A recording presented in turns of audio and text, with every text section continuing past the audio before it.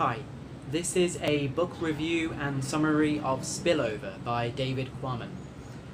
Now, the topic of this book is highly interesting at the moment, uh, given the current coronavirus pandemic.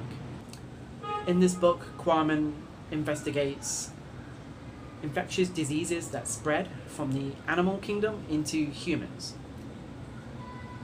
The technical term given for this is spillover, hence the title of the book. And that's precisely how scientists believe the current coronavirus pandemic originated from. So, if there's ever a time to read a book about viruses and how they spread from humans, from animals into humans, and how humans spread that to others, it's now.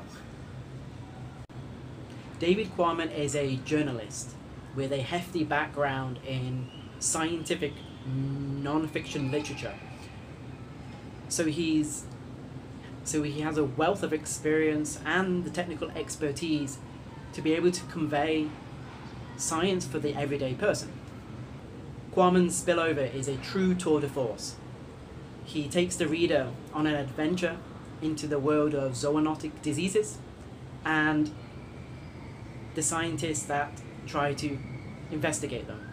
Sometimes, literally, with a net in their hands, chasing after bats in a cave. One of the pleasures of reading this book is the enthusiasm Quammen has for scientific writing and for this particular topic. Uh, Quammen is certainly not an armchair writer. He goes out on field trips with the scientists he listens to what they have to say, but he's also acutely attuned to the environment in which they are working. Spillover is densely packed with facts. Uh, is a highly meticulous scientific writer, uh, but not overly so, such that if the technical jargon bored you or went way over your head, you could skip those parts and still be able to maintain an understanding of the story. And I don't believe any writer can do that. I highly recommend this book for any reader wanting to get a firm understanding of the nature of this pandemic. But you've probably already been keeping up to date with articles, say, from the New Scientist or the Economist magazine, all about this pandemic. So this book specifically will help you to gain a firm understanding of the interaction between ecology, environment, and the roles human, the role humans have played in the worrying increasing trend of zoonotic diseases spilling over into the human population. In fact, David Quammen writes about the next big one, referring to epidemiologists predicting there will be a worldwide pandemic and they predict it will be of a and they predict it will be airborne and of a flu-like nature. So go ahead, check it out and be ready to go on a thrilling journey into the world of viruses and zoonotic diseases. In Spillover, Quammen introduces us to many technical terms the three, perhaps the three most important epidemiological terms uh, the reader will come across is firstly reservoir host. Uh, the reservoir host is where the pathogen, be it a bacteria or a virus, usually resides.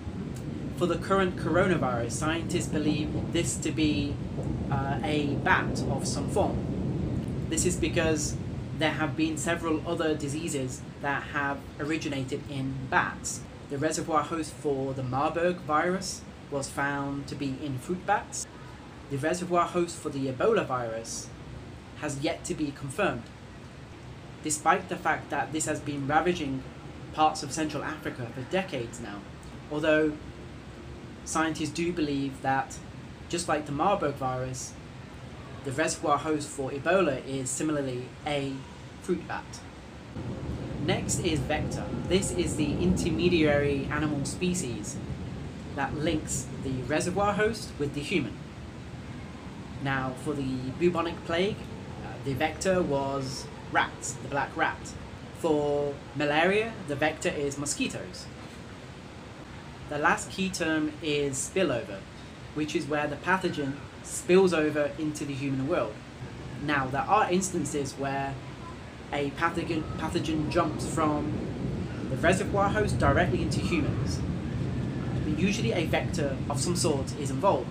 For the current coronavirus, the vector has yet to be conclusively, conclusively identified, although there are speculation that it is perhaps a pangolin.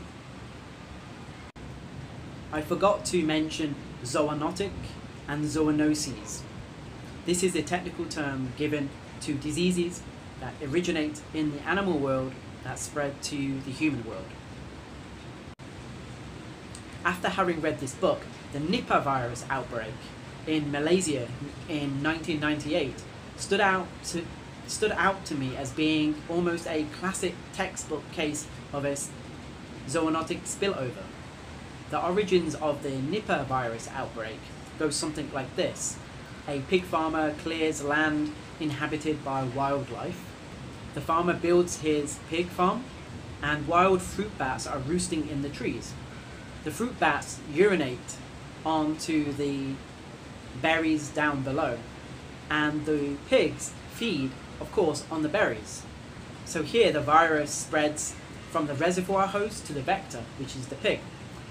The pig farmer handles the pig.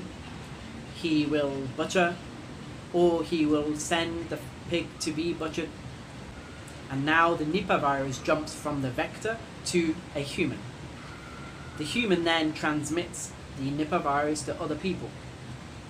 At first, the Nipah virus was assumed to be some form of general encephalitis, but a scientist at the University of Malaysia questioned this, and so he conducted his very own analysis and found that this was indeed a brand new virus. The scientist then communicates this directly to the authorities. The authorities then use contact tracing, but not apps, because this was back in 1998, to rein in anybody possibly exposed to the virus. And then they, of course, exterminate any and all pigs that are possibly infected with the virus. The rapid response and the mobilization of epidemiological teams was able to control and limit the outbreak of the Nipah virus in 1998. In the book, Quammen writes about several zoonotic diseases. He writes about the pathogen itself. Uh, he writes about how the pathogen spilled over into humans and how humans spread this to other humans and its devastating impacts. Large sections of the book is dedicated to writing about the scientists and the epidemiologists whose job it is to explore these zoonotic outbreaks. I appreciated the effort by Quammen to highlight the work carried out by these unsung heroes. These scientists are the ones on the ground, walking through jungle, through tough terrain, doing their best to identify the source of these outbreaks. And if this is your thing, then Laurie Garrett's uh, The Coming Plague goes into much more detail about these individual scientists. There are whole chapters on the hunt for the Ebola virus, and Garrett writes a lot about Peter Piot, who then became uh, the exec- executive director of UNAIDS, and I believe now is a professor at the London School of Hygiene and Tropical Medicine. Returning to David Quammen's spillover, the chapter on the Ebola virus is particularly terrifying. It was actually whilst Quammen was on assignment with, with National Geographic where he heard about 13 dead gorillas. So whilst he's trekking in the thick jungle of Central Africa alongside a scientist, uh, sitting down by the campfire. One of the porters highlights that very close by was where they originally found 13 dead gorillas. It was the sight of these 13 dead gorillas that made him realize something was definitely wrong. And that's when the Ebola virus struck in his village. This Ebola outbreak had already happened before Quammen was on his National Geographic assignment. And it was this talk that gave Quammen the inspiration to write more about viruses and led to the culmination of his work, Spillover. The chapter on the multiple outbreaks of Ebola in Central Africa has a unique mysteriousness to it, not least because of the fact that the reservoir host for the Ebola virus has yet to be identified conclusively. And secondly, the way in which Ebola quietly enters a village, creates utter havoc and destruction, and quietly leaves again, not to be seen again or heard from for several years until it re enters another part of Central Africa, creating the same human misery but on a grander scale.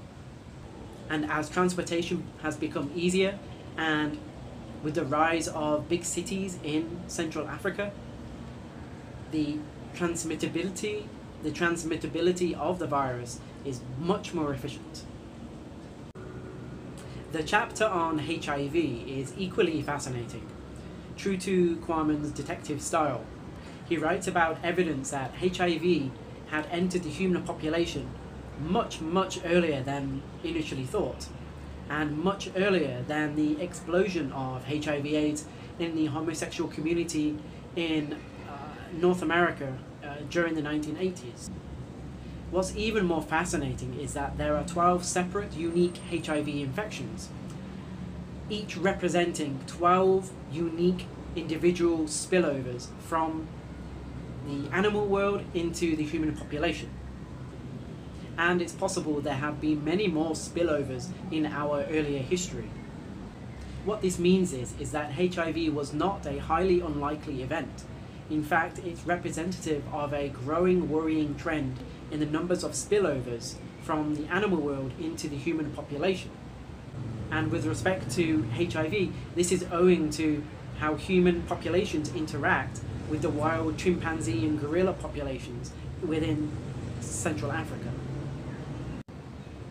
If you're reading this book specifically owing to the coronavirus epidemic, then you cannot miss the chapter on SARS.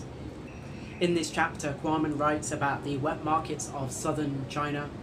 He writes about a professor from southern China who goes to Hong Kong for a conference.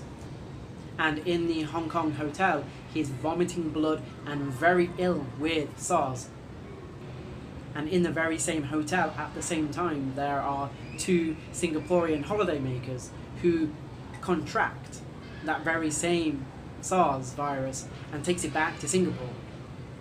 SARS was successfully contained, and the efforts of the epidemiological team and the health systems around Southeast Asia was able to prevent SARS from becoming a global pandemic.